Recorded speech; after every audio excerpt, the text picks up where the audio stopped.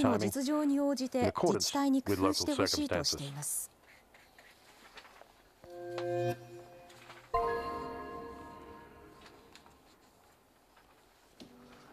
これまでに3億回分のワクチンの供給が行われているアメリカ。今では16歳以上であれば、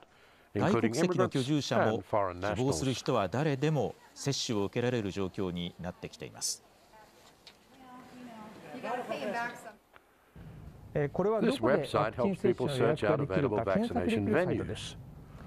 こちらワシントンの地図に緑の点で予約ができるところが表してあります。今、アメリカで接種できるワクチンは3種類。こちらは全米の予約サイト。ワクチンの種類や会場など自由に選んで予約できます。これは私が1回目の接種を受けた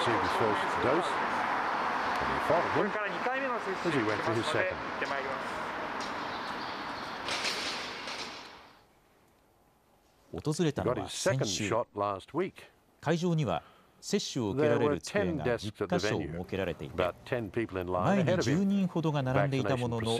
順調に進みました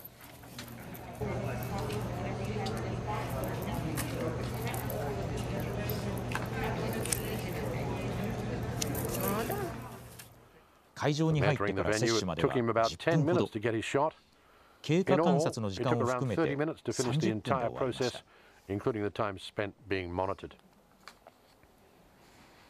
アメリカでは高齢者などの接種が一通り行き渡り、ワクチンの供給に余裕が出てきています。しかし、すべての人が接種を終えたわけではありません。アメリカで接種を完了した人の割合は31.2%ですが、接種のペースは鈍化しています。1日あたりの接種回数は1週間の平均で320万回以上に達した先月11日をピークに減少。民間の調査団体が3月末に発表した世論調査では接種をためらう人や否定的な人は全体の37%若い世代では半数を超えています。people saw it as a political matter, which was an infringement on their civil liberties and their civil rights. It's also young adults who think they're invulnerable, like like 20 somethings who continue to think that if they just get COVID 19, it's just going to be another cold.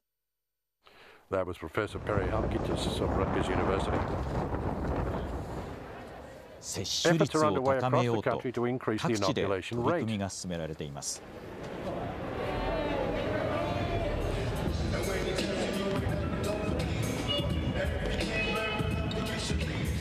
まもなく試合が始まる NBA の会場です。こちらには試合を見に来たファンが予約なしでワクチンを受けられる会場が設置されています。2日初めて行われたこの取り組み試合開始の1時間ほど前から観客が次々に訪れスタッフも含めおよそ200人が接種を受けたということです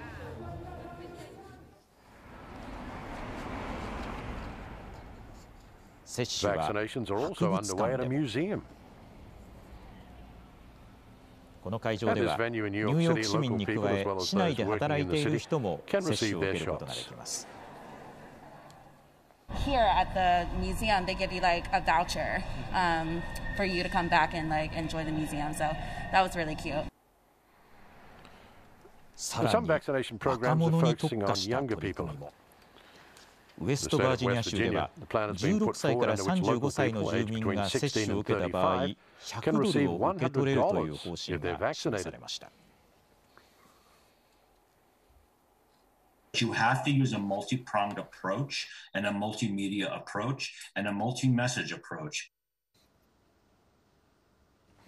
日本とアメリカでこれだけ状況が異なるという。えー、日本では今日から高齢者への接種の予約が始まりました。横浜市で、えー、開始直後から専用サイト、えー、コールセンターにアクセスや電話が集中しました、えー、予約が取れない状態が続き再開の見込みが立たないとして今日の受付を中止する事態となったんです。滞りなく接種を進められるよう体制を立て直してほしいと思います。